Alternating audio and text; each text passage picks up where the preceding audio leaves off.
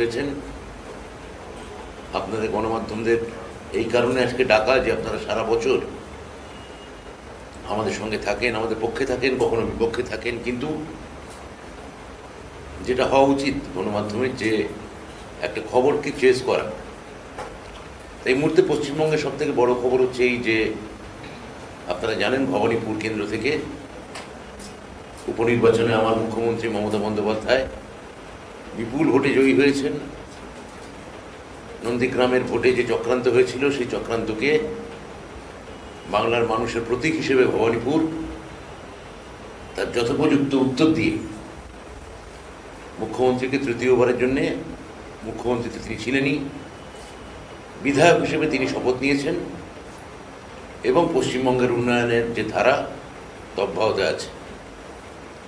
এরই মধ্যে আপনারা দেখেছেন পুজোর মধ্যে পুজোর এই আনন্দ উৎসব, হইচই, কোভিড বিধি মেনে চলা, ইত্যাদি ইত্যাদি যে বিষয়গুলো ছিল, তার মধ্যেও আপনারা দেখেছেন যে আমাদের নেতা অভিষেক বন্দ্যোপাধ্যায় তিনি গোয়াতে, ত্রিপুরার মতো গোয়াতেও অভিষেকের উদ্যোগে, অভিষেকের পরিকল্পনায়, অভিষেকের নেতৃত্বে উনি যেভাবে ভেবেছিলেন, ওখানে আমাদের তৃণমূলের প্রতিনিধিরা গিয়ে প্রায় দুশোর মতো সাহিত্যিক বুদ্ধিজীবীকে এর মধ্যে জয়েন করানো হয়েছে তৃণমূলে। প্রচুর মানুষ গোয়া, ত্রিপুরা, এমনকি পাঞ্জাবেও এবং আসামেও তৃণমূল এবং মমতা বন্দ্যোপাধ্যায়কে কেন্দ্র করে গোটা ভারতবর্ষে একটা অভূতপূর্ব উৎসাহ দেখা যাচ্ছে। একটা উদ্দীপনা তৈরি হচ্ছে। বদলের একটা বাতাবরণ তৈরি হচ্ছে। একই সঙ্গে কেন্দ্রীয় সরকারের জুলুমবাজি লাগামহীন দ্রব্যমূল্য বৃদ্ধি, পুজোর মধ্যেও আপনারা দেখেছেন কেরোসিন, পেট্রোল, ডিজেল, এগুলোর দাম মধ্যবিত্তের ক্রয় ক্ষমতা ক্রমশ নাগালের বাইরে চলে যাচ্ছে। সেই সঙ্গে দেখা যাচ্ছে যে গোটা ভারতবর্ষ জুড়ে বিজেপিকে সরানোর বা নরেন্দ্র মোদী আমাদের প্রধানমন্ত্রীকে সরানোর যে দাবি উঠছে, তার ক্রমশ একমাত্র বিশ্বাসযোগ্য মুখ হয়ে উঠছেন মমতা বন্দ্যোপাধ্যায় বিকল্পে। সেটা দক্ষিণ ভারত থেকে দক্ষিণ ভারতীয় আঞ্চলিক দলগুলো বলছে, পূর্ব ভারতের দলগুলো বলছে, পশ্চিম ভারতের শিবসেনার মতো দল বলছে বা এনসিপির মতো দল বলছে। এগুলো ক্রমে ক্রমে আমরা দেখতে পাবো যে গোটা ভারতবর্ষে মমতাদির মুখ ক্রমশ উজ্জ্বলতর হয়ে উঠবে। কারণ এই মুহূর্তে ভারতবর্ষে আটবারের এমপি, দুবারের কেন্দ্রীয় মন্ত্রী তিনবারের কেন্দ্রীয় মন্ত্রী এবং তিনবারের মুখ্যমন্ত্রী। এই ধরনের রাজনৈতিক যাকে বলে ক্যারিয়ার সেই ক্যারিয়ার ভারতবর্ষের কোনো রাজনীতিবিদের নেই। ইতিমধ্যেই পশ্চিমবঙ্গে পরপর তিনবার মুখ্যমন্ত্রী হয়ে এবং এটা মাথায় রাখতে হবে যেটা তিনি পোস্ট ভার্চুয়াল আপনাদের মতো গণমাধ্যমের যুগ। যেখানে শুধু চব্বিশ ঘণ্টা স্যাটেলাইট, এতগুলো চ্যানেল নাই, একাধিক পোর্টালের যুগ। যেখানে প্রতি মুহূর্তে এক ইনকামবেন্সি জন্ম হচ্ছে। প্রতি সেকেন্ডে বিরোধীরা তাদের বার্তা পৌঁছে দিতে পারছেন সেটা কিন্তু প্রি ভার্চুয়াল যুগে বা প্রি গ্লোবালাইজেশন যুগে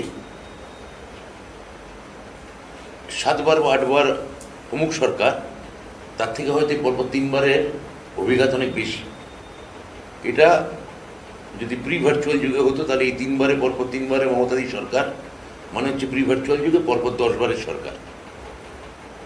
তা মমতাদি প্রায় সেই একটা মসিহার জায়গায় চলে গেছেন। তার মধ্যে পুজো এসছে, পুজো গেছে, লক্ষ্মী পুজো আসছে, কালী পুজো আসছে, জগদ্ধাত্রী পুজো আসছে। অনেক আমাদের যাকে বলে বাংলার ধর্মীয়, সামাজিক, সাংস্কৃতিক এখন তার মরশুম চলছে। তার মধ্যে আপনারা এসছেন আমাদের সঙ্গে দেখা করেছেন। আপনাদের ধন্যবাদ জানাই। বিকেল পাঁচটার সময় ইস্কন কর্তৃপক্ষ বাংলাদেশ হাইকমিশনের দপ্তরে বিক্ষোভ দেখাবে। দেখুন কে কোথায় গিয়ে বিক্ষোভ দেখাবে অন্য দেশের অভ্যন্তরীণ ব্যাপারে আমি মন্তব্য করব না। আমি মনে করি যে আমাদের এই উপমহাদেশে ধর্ম সম্প্রদায় এগুলো খুব ডেলিকেট ব্যাপার। এগুলো খুব সংবেদনশীল ব্যাপার। সমস্ত দেশেরই কর্তব্য সেই দেশের সংখ্যালঘুকে নিরাপত্তা দেওয়া। আমাদের দেশে যা বারবার ব্যাহত হয়েছে, এই নরেন্দ্র মোদী জমানায়, কিন্তু আমাদের রাজ্যে, মমতাদি, নির্দিষ্টভাবে সমস্ত ধর্মের, সমস্ত বর্ণের, সমস্ত সম্প্রদায়ের মানুষকে সমানভাবে সম্প্রীতি দিয়েছেন, নিরাপত্তা দিয়েছেন। সেটা কেউ কারও কারও প্ররোচনায় যদি কেউ ভাঙতে চান, আমাদের প্রশা- প্রশাসন সেটা যথোপযুক্তভাবে সেটা হ্যান্ডেল করবেন। আমি পুজোর মরশুম বাংলার শ্রেষ্ঠ মর- মরশুম চলছে। ধর্মীয় সামাজিক সাংস্কৃতিক পুজোর মরশুম। দুর্গা পুজো সবে গেছে, লক্ষ্মী পুজো আসছে, কালী পুজো আসছে জগদ্ধাত্রী পুজো আসছে। এই সময় আমাদের শান্তভাবে আনন্দ করার এবং কোভিড বিধি মেনে আমাদের চলার কথা। এইগুলো, এই সময় যদি কেউ প্ররোচনা তৈরি করতে চান, সেটা মানুষ ভালো চোখে নেবেন না। অর্থাৎ কালী পুজোর পর স্কুল খোলার পরিকল্পনা ছিল এবং কোভিড বিধি কোভিড যেভাবে আবার বাড়ছে, সেক্ষেত্রে কি কোনো রকম সিদ্ধান্ত দেখুন এই পুরোটাই নির্ভর করছে কোভিডের উপর। স্কুল, কলেজ তখন নিশ্চয়ই খুলতে চাই, কিন্তু আমরা এটা মাননীয় মুখ্যমন্ত্রী, তিনি যেভাবে আমাদের পরামর্শ দেবেন মমতাদি যেভাবে নির্দেশ দেবেন, সেই অনুযায়ী আমরা করব, কারণ স্বাস্থ্যবিধি। আমাদের কাছে সবার আগে। স্বাস্থ্যবিধি মেনে। এবং মুখ্যমন্ত্রী এই স্বাস্থ্য পরিকাঠামো আমাদের সব থেকে ভালো করে জানেন। ফলে এবং তার নজরদারিতে পুরোটার পুরো রাজ্য আছে। ফলে তিনি যে মুহূর্তে আমাদের আমরা তার সঙ্গে পরামর্শ নেব তার সঙ্গে আলোচনা করব এটা আমরা ধাপে ধাপে আপনাদের জানাব।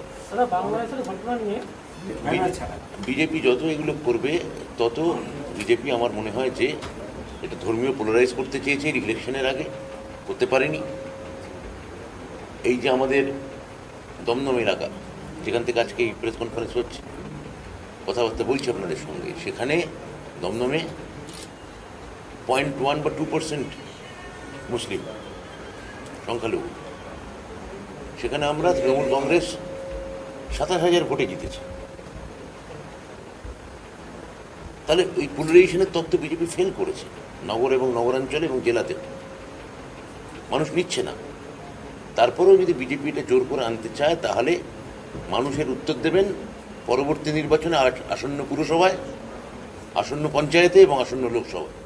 মানুষের উত্তর দিয়ে দেবেন